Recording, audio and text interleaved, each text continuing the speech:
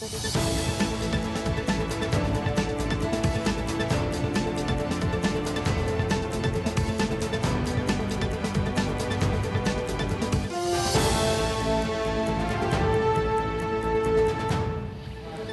Здравейте с новините по света и у нас. 3138 нови случая на заразени отчита единия информационен портал днес при направени 8478 ПСР теста. Това означава, че близо 37% от тях са положителни. Най-много случаи са регистрирани в областите София, Пловдив и Варна. Излекуваните през последните 24 часа са над 2200 души. В болница остават повече от 6600 пациенти, 523 от тях тежко състояние. Починалите за деня са 159. Решението коя вакцина да се използва в Европейския съюз ще бъде взето от Комисията по лекарствата на 29 декември. Това обяви в студиото на Денят започва имунологът професор Богдан Петрунов. Според него все още не е ясно какво точно ще ни даде вакцинацията. Намаляване на смъртността или подпомагане ограничаването на разпространението на болестта. Ясно е обаче едно – имунизацията е необходима.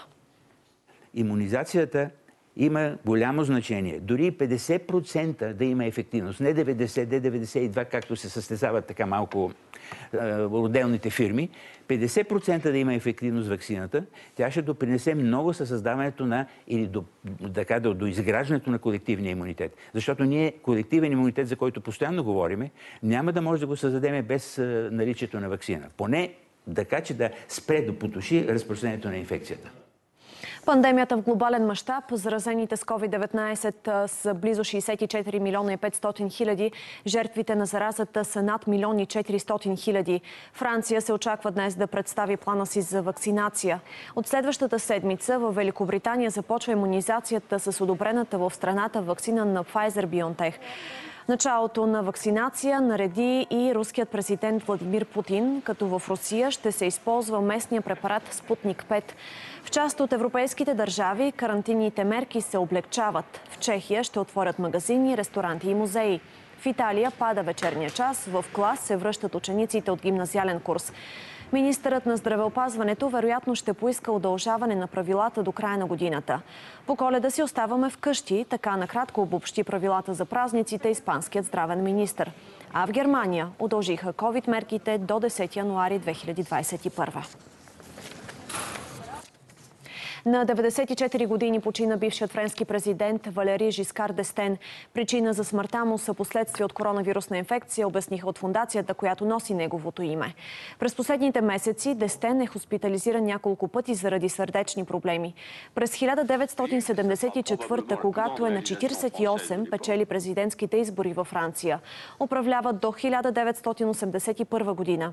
Жискар Дестен ще бъде запомнен с поредица радикални за времето си реформи, като легализацията на абортите, улесняване на правилата за разводите и намаляването на възрастта за гласуване на 18 години.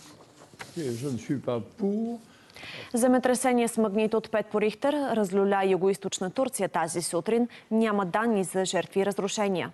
Епицентърът на труса е бил на 22 км западно от град Сирт и 7 км северно от Корталан и на дълбочина около 20 км сочат данните на Европейския средиземноморски сейзмологичен център. Според местния изследователски център Кандилили, люлеенето е със сила 5,2 по Рихтер, а епицентърът е по-плитко. CNN цитира валията на областта, според когото няма разрушения, но екипи продължават обследването на засегнатия район. Иранският парламент одобри законопроект, който ще позволи на страната да увеличи значително количеството обогатяван уран и ще възпрепятства инспекциите на ООН. По силата на документа Техеран ще може да обогатява до 20% уран вместо заложените в ядрената сделка 3,6 на 100.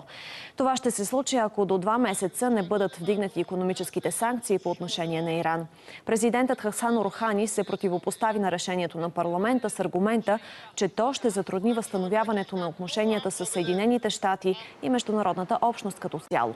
Законопроектът се обсъжда и на фона на атентата срещу водещ ядрен специалист в Иран, който се предполага, че е организиран от Израел. Повече от 40 щата подготвят съдебен иск срещу Фейсбук. Няколко независими източника, запознати с казуса, твърдят, че следващата седмица срещу социалната мрежа ще бъде заведено дело за нарушаване на антимонополните закони. От компанията отказаха коментар. Марк Зукърбърг обаче многократно е заявявал, че Фейсбук работи в конкурентна среда. През октомври Комисията по антимонополна политика към Камерата на представителите в Американския конгрес публикува доклад. 449 страници на резултата от 16-месечно разследване, според което Амазон, Фейсбук, Google и Apple използват недълновидни практики и по този начин задушават конкуренцията. Министерството на правосъдието вече заведе дело срещу Google с обвинения в нарушение на антитръстовото законодателство. У нас безплатни буферни паркинги заради мръсния въздух в София днес и утре. Във връзка с повишените нива на фини прахови частици и неблагоприятните метеорологични условия, столичната община осигурява възможност на гражданите да ползват безплатно шесте паркинга към станциите на метрото. Зелен билет обаче няма да се издава. Хората се призовават при възможност да преминат на екологично отопление и да подават сигнали за нерегламентирано изгаряне на отпадъци. С това се разделяме. Още проверена информация ще откриете на сайта ни BNT News BG, както и в мобилното ни приложение. А след секунди от Павлета Тързийска ще разберете и какво време ни очаква до края на седмицата.